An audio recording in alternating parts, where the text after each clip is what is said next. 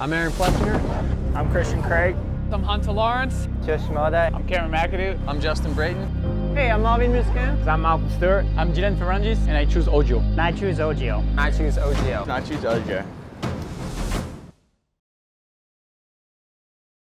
Uh, this week was incredible. Uh, the best I could ask for, but I also had a lot of mistakes. I was uh, only racing the WMX class, so started off the first moto with a 35th gate pick and ran out um, in 20th ish off the um, off the start. Worked up to third. That was great. I was super happy with it. Uh, second moto started closer up front, somewhere in the top 10 and managed to tip over once I got in the lead. So that was cool, but picked it up, got back to the lead.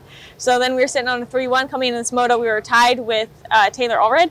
And so I knew I had to beat her and then, you know, be within certain positions of the girl in, the girls in third and fourth. So Viviana and whoever else.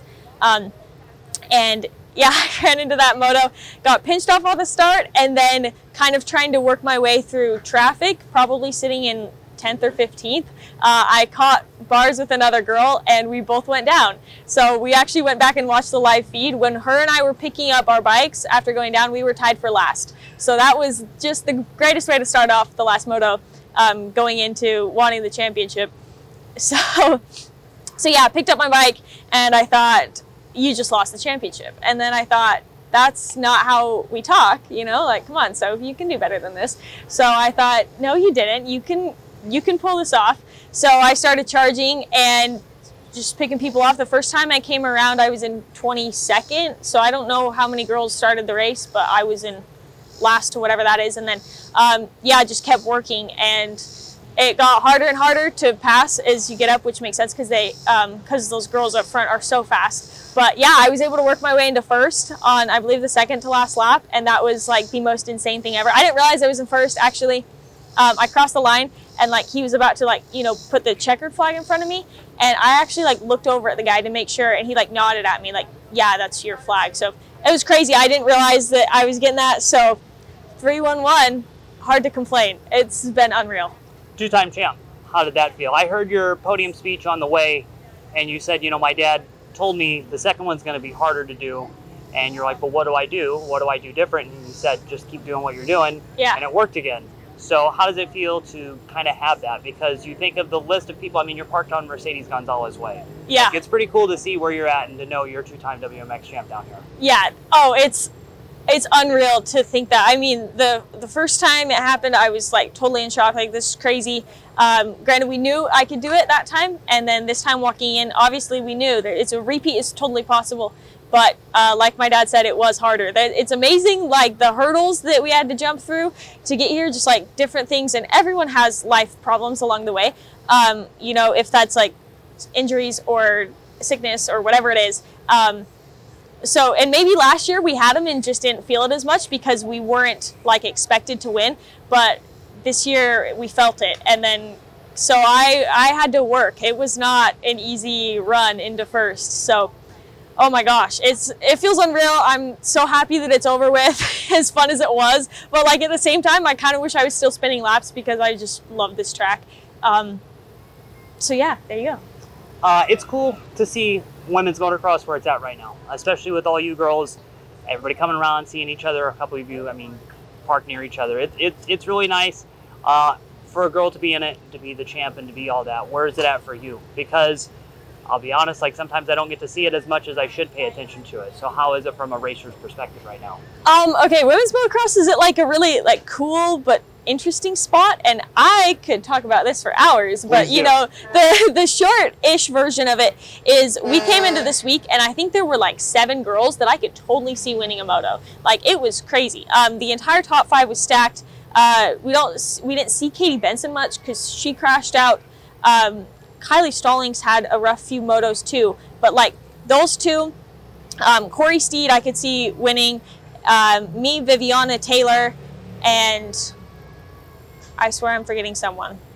Hannah Hodges. Yeah, that group right there, I was like, I kind of walked in, I was like, holy crap, we have like the most stacked women's class that we've seen in a while. And I think we saw it in all of those motos if you watched. Like, our results are totally scrambled. So um, yeah, it's really cool that we have that many women. But then the interesting thing is is that there's nowhere to go. So you know, sometimes I have my moments where I'm down on myself and I'm crying and I'm like, it feels so like sucky sometimes to be working nonstop to a dead end road is kind of what it feels like if that makes any sense. Um, but at the same time, I'm just so grateful for the opportunities that I have because I feel like Loretta's is like this is the top of what we have for women's motocross here in the U.S. and I'll take it. Like it's it's great. Um, so I don't know. It's it's tough to decide like where are women going to go with this. Should we try to build up a women's series in the U.S. or should we try to do what Jordan is doing and just race with the men? Granted, she's the fastest in the U.S. and and she can do it but like you know so that is a very limited option but you know i think we're at a really cool spot right now. What we're going to do with it i don't really know. There's a lot of fast girls coming in. Um, when i was trying for the girls class years ago let's see in 2016 was my first time trying and i was at fox raceway in california. I remember that year and i believe the next year uh, there were equal amounts of girls as there were qualifying spots. So all you had to do was finish a moto to qualify. So um, now there are like the gates are mostly full, which is really really cool for female um, racers. But I don't know where we're gonna go with it, but we are at a cool spot. I watched uh, Lachlan's moto. Watched her yesterday. Dude, she stands up a lot. I like her style. So to see like the next generation of girl riders too, you guys are really on it. Like I feel for you. I'm I, I feel for you, and I think even in all like the hype of this week of like super motocross and this and that, we need to have a place for you guys. There needs to be something more for it because it's such a big market for for motocross. So I totally think like I feel for you. It does seem like a dead end, but keep doing what you're doing. But Thank man, you. like the kids that are coming and the girls that are coming, you guys have a lot of talent, and it's cool to see all of you help each other out the way you do. Thank you. Yeah, I think that is something really special about women's racing um, right now. Specifically, I think we have like the group is really fun. So, um, like, I've been hanging out with Ava Silvestri and Viviana Contreras and KK, who's not racing this week. She's injured, but I was hanging out with Katie Benson, like, and Taylor. I've been talking to all week. Like, we all are. I feel like we all get along really well, which is something that you don't find so much in men's racing. Um, but I, that could just be the way that we are. I don't really know. Um, but yeah, to Lachlan's credit, she is unreal. She does stand up a lot.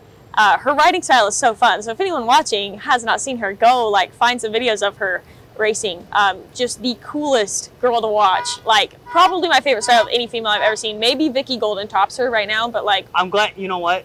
Vicky's the only other girl I've ever seen like, whoa, she rides like a guy. like yes, Yeah. exactly. Like you put them side by side, and you're like, if you didn't have hair, like I would have never known. yeah, Um, that's cool. You said Yeah. that. I've thought that about Vicky since like 2010. Yeah, yeah, it's cool, and that's a cool compliment to get as a girl because you know, like you hear things like "you ride like a girl," and Uh-huh. I'm like, and I'm like, well, thanks, because like it, depending on which girl you're comparing me to, that's cool. But um, to hear like you you look like a boy out there is like, well, that's cool. So um, yeah, I agree with you there, and I I hope that this doesn't sound like a pity us thing because we definitely are so blessed as women in the sport to get the attention that we do have. Um, but it, it would be cool to have it would be cool to have more. So I don't know what the future is, but it it should be fun. I don't know. I'll see if I can pave a way, but if I can't, then maybe maybe Lachlan Turner will. This week was a, was a was a struggle. I came in not really ready. I thought I was ready, not really ready, but you know I progressed each moto, got better, and that last moto I fought the whole time, and yeah, I was just stoked to go out like that. But yeah, each moto better, better, and better, better. Bike was getting better, I was getting better. So honestly, I can't really complain because it's it's one of those weekends where it's just a character building week. So, but I can't thank the whole HRC Honda crew and Factory Connection for you know, after every moto we're discussing getting the bike better. How can I get better? And but I can't think of them now. Hey, you took this one on the chin this week. I got to give you that. Like even midway through the week, you made a post and was like, "Hey, everybody, I know, like Yeah, it's not going well." How do you not just completely get spun out? I got a I got a good crew keeping me keeping me in line. I got a bunch of buddies here, a bunch of family. I even got trainers here. I got Jake Weimer here. I got from the A3 compound Michael Byrne and Justin Bogle. Those guys have been really good to me and just telling me just not worry about it, do your thing and you know be you. So but it's I try to I try to stay positive. I mean, that's about the only thing you can do. you get to the point throughout the week where it's like you don't don't worry about results, just go and do your thing. You know, go ride. So that's that's where I was at these last few motos, and I think I ended up riding a lot better. So it's just like mental reminders like that help me. But you know, it's it's good to have weekends like this, just so I can you know you don't. It's not the way you want it to go, but you got you know how you know how to maintain it. Okay, what's the plan from here? Unadilla, do the last four, combine? What's, yeah, what's the plan? I'll do the last three to four nationals. I'm not sure if I'm doing all of them, but I'll do at least three. And but yeah, I'm excited to go racing at Unadilla next weekend. All right, cool. Good job, bud. I mean, last week at the ranch, I have to say too, just from watching you guys, you, Ryder D, it seemed like it was a cool experience between the prom, kids having graduations, like all of that. Was it was it fun to kind of experience that one more time? Yeah, I mean, I really haven't thought about it that much, but it's kind of bittersweet with it being my last time here. I mean, I you know might come back after my after my career and you know race plus 25 like all these guys do, but you know it's now that I think about it and it's all said and it's it's it's pretty sad, but you know I'm I'm super excited to be turning pro. But like the whole the whole atmosphere of it, I'm gonna miss it for sure. Give it three years, and Honda will have you back out here doing a parade lap. Yeah, yeah, hopefully. Uh, it was a pretty rough start to the week, but ended it off pretty strong. Uh, not the best finishes, but just I know I took I know what to take from it. I got some good good takeaways from this race, so I know I got the speed. Just gotta work on the getting off to a good start early in the week. But yeah, it was pretty good. You know, this was for everybody. I think an up and down week. You guys all got challenged in different ways, but probably a big learning week, like you said. How did you not get spun out when a bad moto would happen? Because at the end of it, like you said, it was going. Oh geez, yeah. Starting off the week, I got cleaned out by a lapper while I was running it. I was in third, or no, four, I was in fourth, catching up. Got cleaned out by a lapper, double front flip into a corner. Uh, I got cleaned out by another guy in the other moto. Got 40 second gate pick in my first moto, so felt like all odds were stacked against me in the first motos.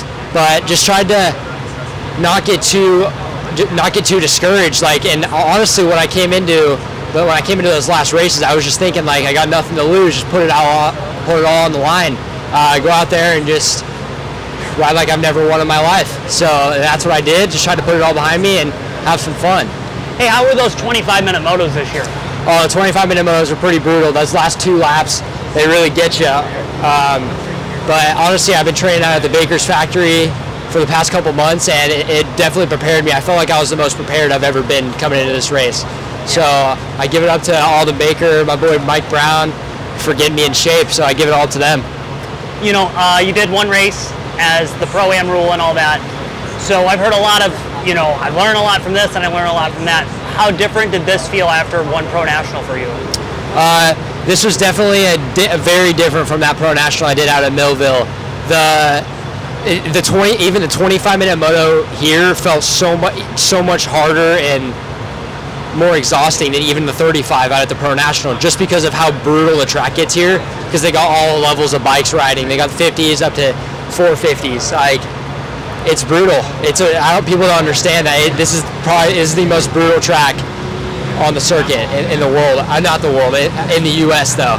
Yeah. definitely the most brutal track in the US So then, uh, what's the plan from here? Do these last four nationals? I heard maybe Supercross Futures next year. Just kind of keep it going. Um, I'm honestly not too sure what the plan is right now. I'm going to talk to the team and just see what we can do because I would love to do some pro nationals. I'm cool with staying back, uh, doing some some of the Supercross futures, doing some pro some combines. Um, I have no idea what the future holds, but I'm excited to do it with the Rockstar Husky team. Okay. So was that weird to not know if this was your last week here then? Um, I wouldn't say it was weird. Honestly, I'm I enjoy the the amateur stuff. I enjoy the pro stuff. Um, I'm just here for the ride. The week was good. It was uh, had some ups and downs. I started the week with a whole shot in Open Pro Sport, and then uh, the heat got the best of me, faded back to 10th, I believe, and then uh, first moto Pro Sport I was was the same day, but it was pretty quick after the Open Pro Sport moto, so I uh, struggled a bit, ran third for a while, and then Bomber got me. I got fourth that moto, and then the uh, second moto of Pro Sport, uh, pretty much the same whole shot again, faded back to ninth, and then the second moto of 25 plus, I uh, hit the gate and the gate fell forward, so I kept going, and then they obviously red flagged the race, went back to the gate, and then not knowing anything was going to be wrong, any penalties were going to be done. Since they did a full restart, I uh, shot again, and then uh, led for a bit, and then ended up second. Oh no, third, third in that moto, and then uh, ended up getting docked a lap, so it put me back to 21st. So the championship hopes were out for that class, and I uh, we had first moto at 7:30 Saturday, and um, hole shot the 25 plus again. Was leading the first two laps, and then cased the middle jump into the sand and blew out a rear wheel. So into that moto, so 25 plus was a complete wash, and then uh, the third moto of Pro Sport, I hole shot it again, which made it five out of six hole shots, which was incredible, and then. Uh, led for a couple laps, and then Cole Martinez got me. Uh, ran second behind him for probably a little over halfway, and then Caden Braswell got me and uh, was able to hang on to third. So ended up, I think, eighth, seventh or eighth overall in that class, which is uh, pretty awesome, and I'm stoked. Uh, put on a good show for, for the Honda crew, and uh, I'm excited to see what's next. Hey, the Hondas, they were hooking up this week. They look Yeah, yeah. The uh, Cole and I were one, two, I think, on all the 25 plus hole shots, and then also I think the Pro Sport moto. So, yeah, my Honda's working great with the Pirellis are hooking up, and, and I'm stoked. you know, there's going to be a lot of people that are like, oh my God, these A-class kids couldn't do this and this, and they couldn't beat Harrison. But and Martinez, honestly, I think that that's like the best thing because you guys are a very good bar. You're a very experienced rider.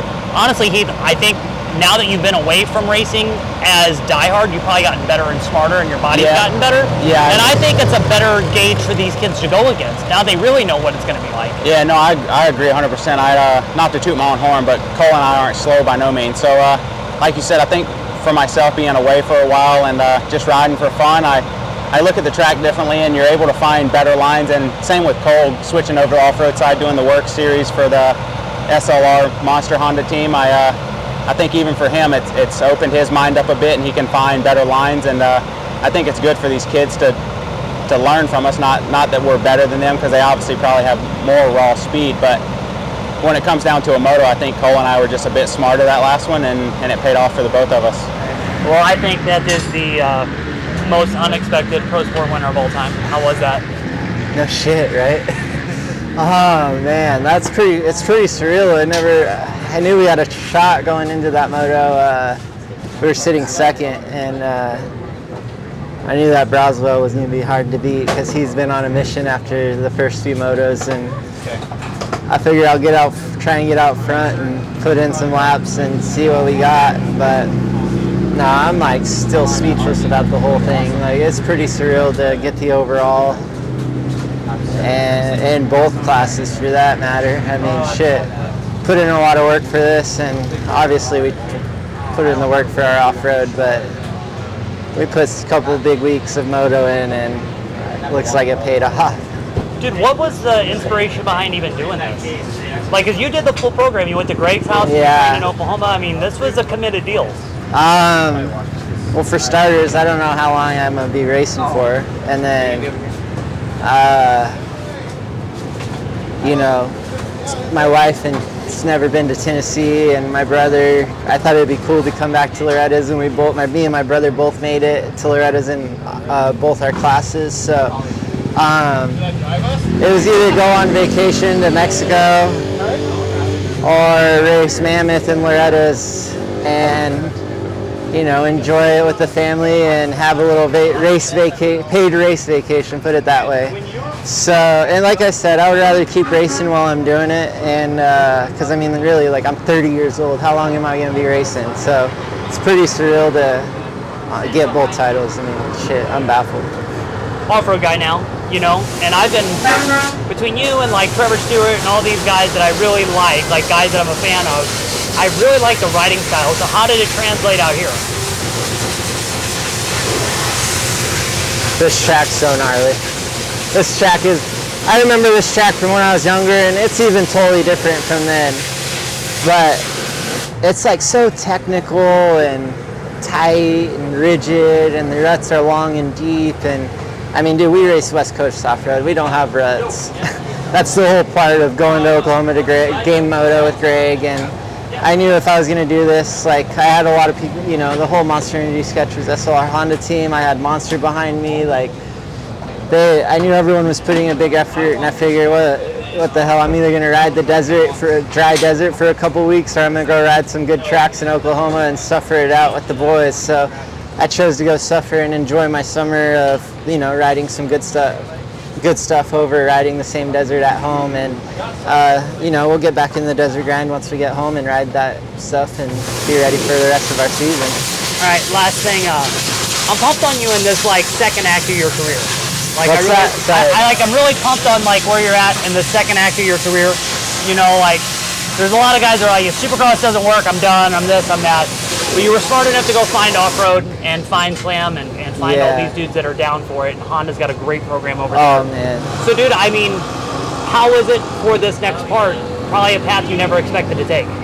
Yeah. Well, I kind of I hate to say I kind of knew I'd race off road. Okay. But growing up, like we have, all- like I grew up riding off road. Like I just chased the dream of racing moto super fast, like forever. You know, like you know until I did it, and I got to do it, which I'm so thankful for. And obviously, I mean. God has had a plan, and here we are racing off road, back at Loretta's, racing Mammoth. Like, I mean, honestly, I'm enjoying life and enjoying it racing more than I probably have ever enjoyed it. And to to still be doing it, like I said, at 30 is pretty badass to me. And I mean, shit, we got the pro sport here at Loretta's at 30, which is unreal. And uh, I mean, I'm honestly just enjoying life. I'm just blessed. Th- I just can't be more thankful to still be doing it, honestly. And like I said, I don't know how long it's gonna last, but we're gonna make the most of it while we're doing it. Hey, good job, Cole. Thank you.